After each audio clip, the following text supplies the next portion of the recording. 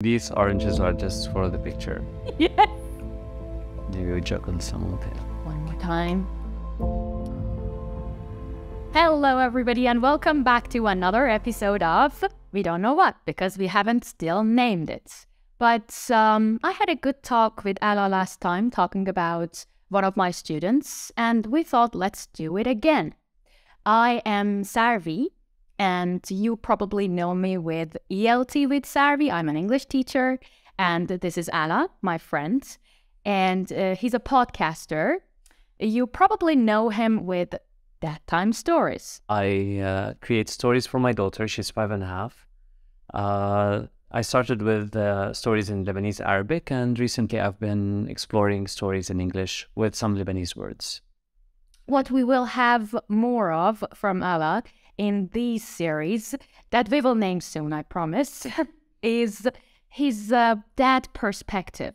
You know, uh, we see a lot of teachers sitting together. I already told you, talking about their students, and like they can only look at things from the perspective of a teacher, an educator. But um, what I'm trying to do here is to have the perspective of a real parent. Today, we're talking about um, the testing system of schools. Uh, one of my biggest concerns.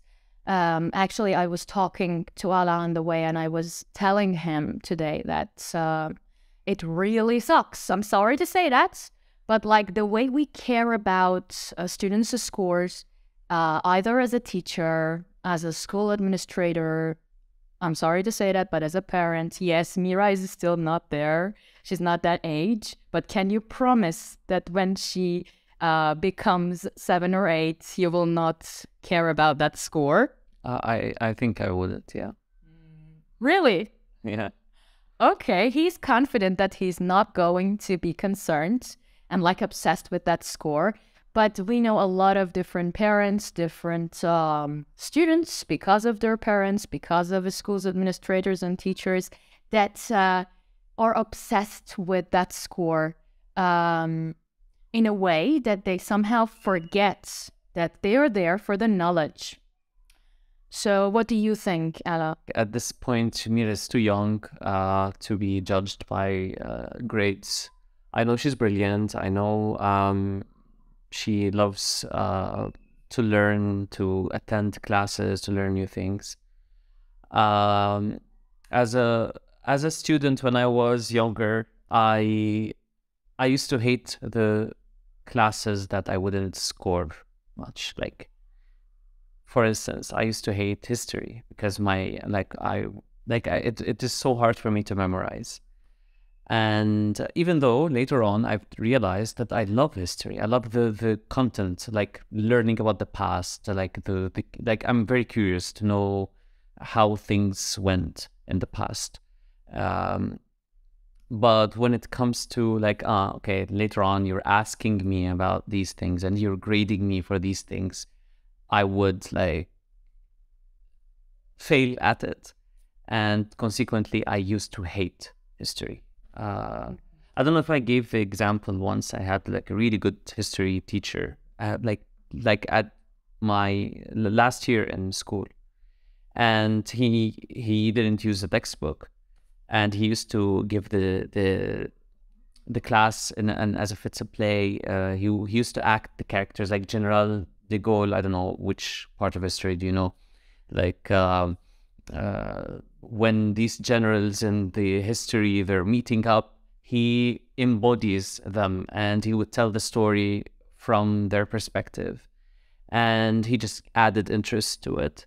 And he didn't focus much on on, you know, like certain ways of answering. Like he focused more on the content and I loved that. Mm. And I've realized that I really like history.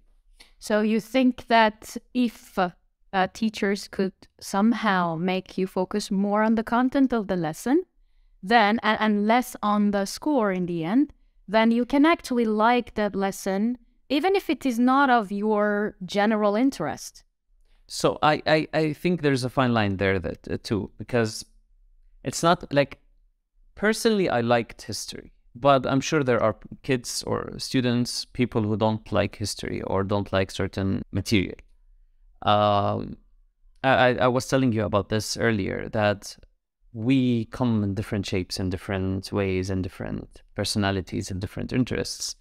So uh, in in in this particular example, I did like history, but I was afraid of the grades, and the grades affected my perception of the material. Uh, but maybe uh, others won't like history at all, no matter what. Uh, and this is how it's like when you're grading, and I think you'll go deeper into that, when you're grading students uh, in, in within a certain system, you're disregarding their own personality. Like, I used to be good at math, but if you're gonna uh, uh, look at my grades, my general grades, my grades would be a bit lower or much lower because my the my grades in other material would be much worse. And actually, towards the end of my school years, that affected my general grades because I understood that I'm good at math and at physics, so I spent more energy into the other material. But I ended up losing grades on the other side. So I ended up having the same average, but like in the process, I lost what I would have gained if I focused on what I really liked. I know, I know what So you yeah. So I cannot really talk about other subjects right now, Alaa, but I can talk about my own subject, which is English. Uh, and uh, I already gave you this example, and I want to give it to everyone else about. I mean, bear with me. I'm going to tell you that story about the time that I. I mean, the first time that I got my period, and I know it might not sound relevant, but uh, Two minutes later, it might. it it it might really and, I- and it will really it will be relevant like the first time that i got my uh, period i remember that school day it was a very active dynamic day so i didn't even get to sit once and like we also received the result of one of the exams which was the math exam and I got a 17 out of 20. Yeah, in our education system, it's not like A, B, C, D. It was like uh, numbers, and you received them out of 20, not 100. So I got 17 out of 20, which was above average. It was fine. But I was really, really stressed because my mom usually didn't like it. And she used, I mean, she had her own way of showing that she didn't approve of that score. Like sometimes she wouldn't talk to me or she would give me that look of hers. I mean, it was not always like, uh, why did you get that score? No, you just feel it. You just feel that I- she, that she's disappointed, and you've disappointed her. I could totally feel it in her eyes, in her reactions, even in the way that she would put like food in front of me, whether she was satisfied or not. So keep this in mind because we will get back to this. This is very important. So I remember I got my period for the first time, and yes, I had a 17 out of 20 as well in math. And the school day finished, and um, magically speaking, because it was a very dynamic day and I was walking around, running around all day, steps going up and down, there was no staying, so nobody figured out, or everybody would understand. Not that it's something unnatural, um, but it can make a student panic, like having it happen the first time and everybody noticing that stain on the uniform or on their dress and everything. Did you know about it before, or it was like you were discovering? No, it was like my, my mom had already talked about it with me. So you were, you know, it wasn't like, oh, okay, what's happening? You, No, you no. understood. I kind of knew these things. Like my mom used to talk about these things freely, thank God. Good.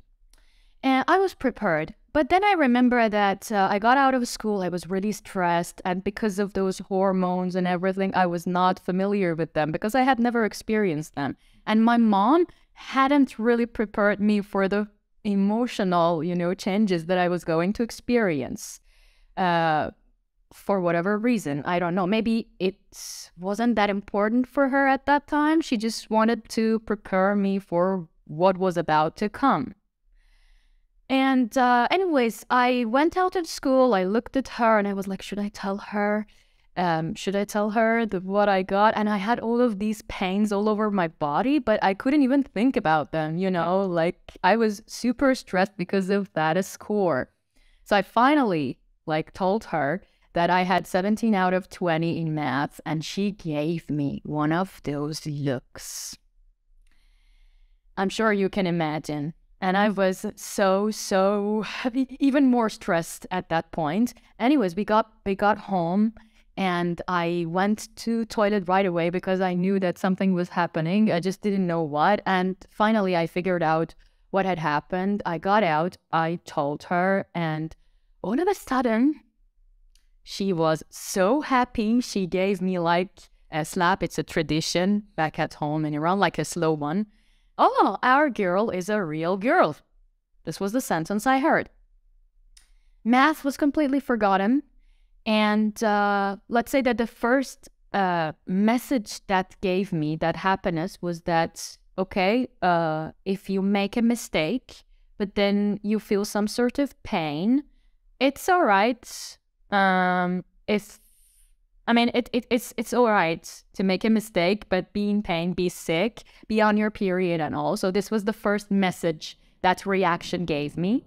And second of all, like nobody uh nobody teaches you at the school these things.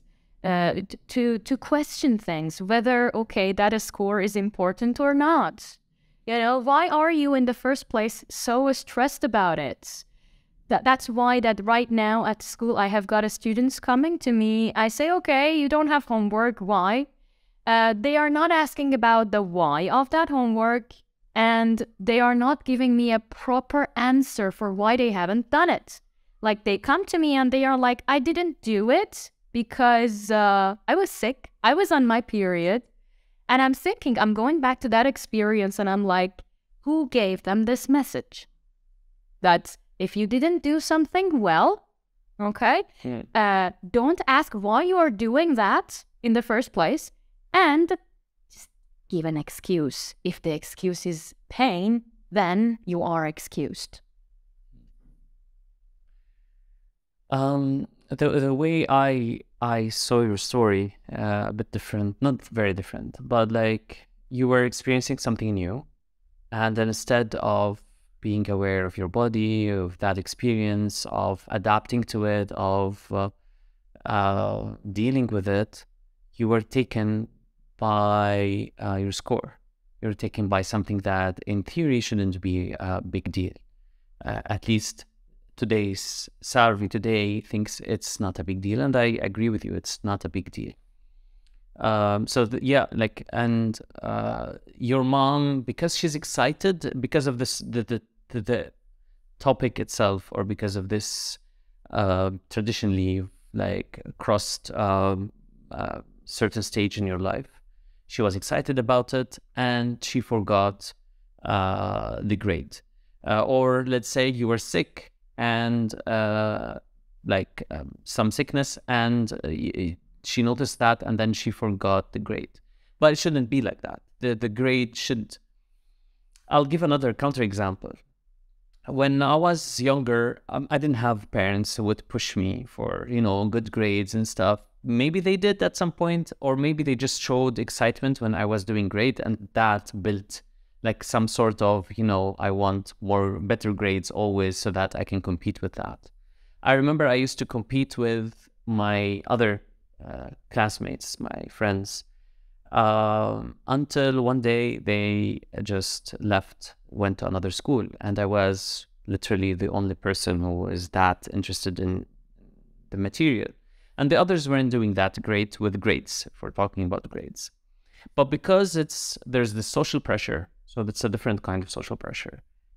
You want to fit in, you want and getting good grades means you're like this nerd or this, you know. So you, to fit in, it becomes a like the, the other way around. So you start like uh, putting less effort and all of that. When in fact, neither they should feel uh, left out or should feel like less because they're not getting good grades. Neither I should feel that I should pay more energy to get better grades or less energy to get less grades so that I am eh, the the focus again back to originally what we were talking about the focus should be on the material itself um, and I, I I know that uh, later on in my life uh, when uh, I moved to another school um, there were they, in any class there are students who are better with grades and students who are uh, less good with grades. Um, but towards the end of the, like towards like before getting to college many of them were like ah i want better grades for the college or whatever. And then we collaborated together to uh, to make like to help each other to get uh, to get the material uh, properly or like to consume the material properly.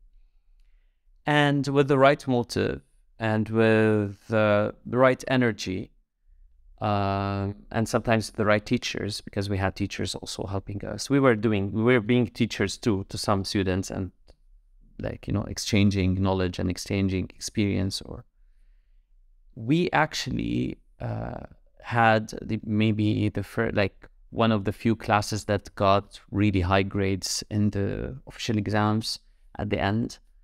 Um, and and the focus there yes the, the focus was again the grades but the approach was not like ah oh, okay why aren't you getting grades? It was a punishment because you didn't get grade. It was more of okay how can we uh, learn together? And and i remember there was a positive input from certain teachers like even some students didn't weren't getting good grades in math for instance but some teachers did notice that these students were brilliant. Like they they they have the knowledge they have the capacity to consume math. Again i'm not saying uh, some students or some people are good with in math some are, good in in music some are good in uh, creative writing etc so but like the teachers were noticing that uh, the skills the skill set of uh, these students and they were telling them even though they didn't have the grades to back it up they were telling them like ah i noticed that you're like you yeah you can do better. I know that you can do better. How can we help you get better? That push that um what do we call it? Like you know like down in the back. Inspiration? Like kind of inspiration like or encouragement. encouragement um helped them to uh, dig deeper into their potential and actually uh, do great and uh, many of them if not all yani, they're now they're doing really good really well So you, um, I mean, back to what I said Mm. about um like my mom's reaction. Maybe because you yourself never experienced that kind of reaction. Okay, at some point in your life, you figured that oh, we can actually look at grades not as grades, as uh, another mountain that we need to like uh, climb Mm. and like like we need the like we need the grades for university. So yeah this is why i need better grades. But it wasn't to me it wasn't a pressure. I, i'm sure that to others it was a pressure. But when i was referring back to your uh, mom and your story with your mom I, I wanted to emphasize on the fact that because of the pressure of the grades you forget about you forgot about yourself. Completely. like you you you're experiencing something very new at, in your life and you're uh you're not allowed you're not given the chance to live that experience to notice what's happening to adapt to what's happening. You were uh being preoccupied by um, a detail that it shouldn't matter and like the reaction can form a lot of different understanding uh, uh, different understandings in people. You see like the reaction i received was so unnatural you know like uh, okay you got your period. First of all you got a bad score frowning okay not talking to you you're not a good girl. And then like everything changed. Okay you're experiencing pain. Oh nice so it was so unnatural you know like what i really would love to talk about right now is that those reactions that we give to our students can make them one day collaborate together for a good grade and seeing it as a form of game fun. I mean from what you were talking about i was getting the energy of it's just another challenge like a basketball game guys. Mm. let's get together and do it. And then on the other hand we can have another kid like reacting not eating anything a day before exam or feeling so stressed that they even don't want to go to school on the I mean we uh, recently have a lot of absentees when exam is coming up. And when I ask them like, why weren't you there that day? They're like, uh, teacher, I was sick. I was really, really sick. And like they might actually be sick. You know, like when you when you check it out, you figure out that yes, that kid was really sick. But like, was it something serious? What happened the day after that? And like a day after that, everything is okay. Or was it because of the stress? Like I remember I, I, I got sick because of stress. I didn't know that it was stress until I went to the hospital and like they were like, ah. And I didn't even take it seriously until later in my life. Like I didn't, I, I thought it was like a one-off thing, and apparently it's something that did come back again. But I was mature enough to notice it and to uh, do something about it. And right now, can I ask something? Yeah. Like, what do you think about your own reactions with Mira right now? Like, now that I told you this is story, what do you think? Do you think that, I'm sorry to interrupt you, like, do you think that those reactions are sincere and genuine? Well, I mean, based on what she's going through and what she's experiencing, because I'm sure that my mom at that point, let's not judge her. I mean, based on her own traditions, her own background, the reaction was completely natural to her. But like my take from it was a totally different thing. I wanted to talk about your take first. Um, uh, I I I noticed that you used uh, two negative things, or like the body pain from your period, uh, and the uh, like the the bad grade, which isn't bad, seventeen over twenty. This is really good.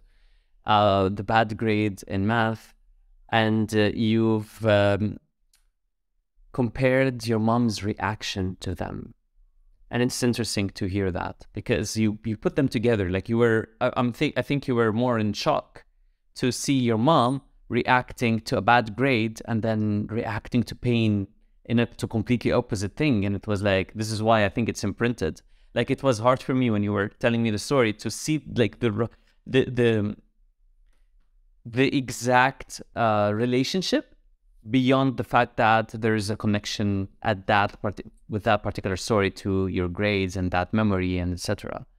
But I think it's more of how you, as a kid, probably were trying to understand why two negative things, or at least in your perception, there were two negative things: the bad grade and the pain, uh, were uh, did get uh, completely opposite reactions from your mom. So yeah, I this is how I saw the connection with you bringing up that memory, mm-hmm. or one uh, type of connections.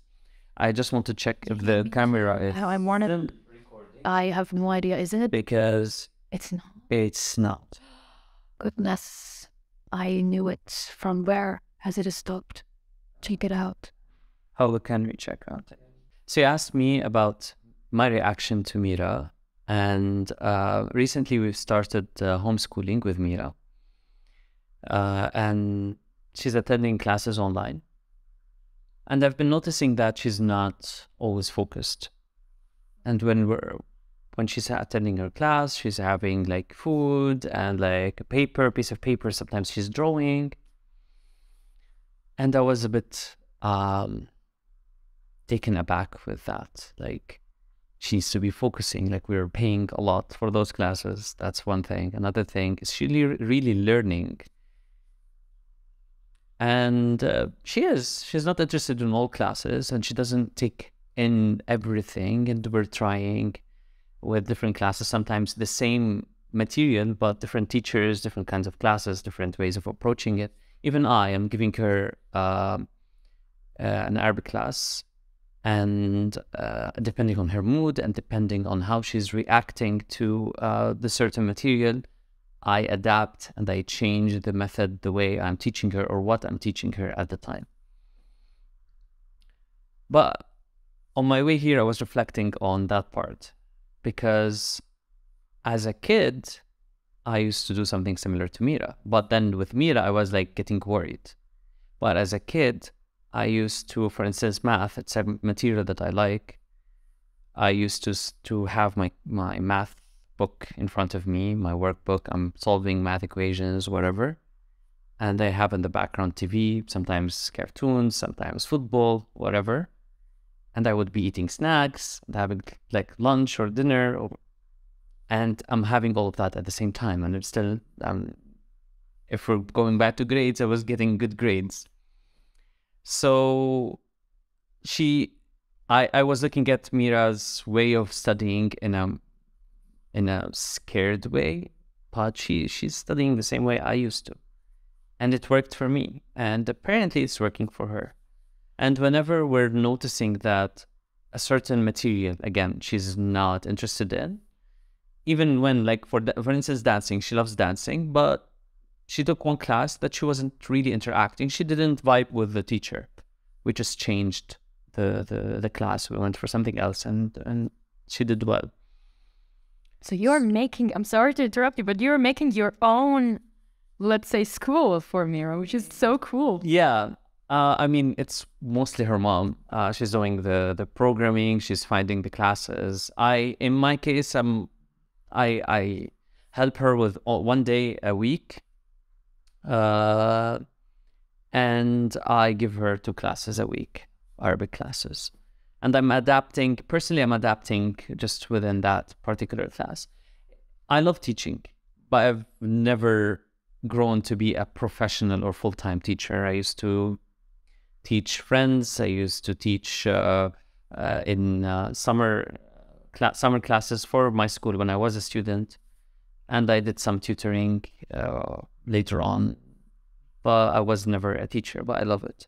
And can I can I ask like how do you um, evaluate whether Mira is learning, like her learning process right now? Because we're speaking about scoring, so mm. I it's really interesting for me. So it's a bit different because uh, as a teacher, you're only seeing uh, your students within the environment, the classroom, one particular class, which is the English class in my case, I'm seeing Mira throughout the day. There's uh, the interactions that I have with her, the interactions that other family members or her mom is having with her, and we communicate about that. So we look at it from a bigger picture. We see how she's interacting, how she's, for instance, um, she's not particularly taking English class, but she's been taking classes in English, and we've noticed that her language is getting much better and she's being more expressive in English. She used to express herself more in Lebanese Arabic, but recently she's been able to express herself in English properly. And uh, so these are little things that you can only notice when you're spending enough time with the kid. So I don't know how this system could be adapted to schools because it's much harder. You're only giving, maybe as a kindergarten teacher, you're spending more time with the students and I think in kindergarten they do have like systems are a bit they they judge many many schools do that, not all schools maybe. They judge based on the skills that you acquire rather than uh, grading those skills. Uh, yeah, it's much harder um, when it comes to schools. I don't know if there are existing school uh, school systems that allow this kind of uh, evaluation. Yeah, you, you have you have created your own system. Yeah, but it works within like a closed environment, which is me, Mira, her mom, family, extended family.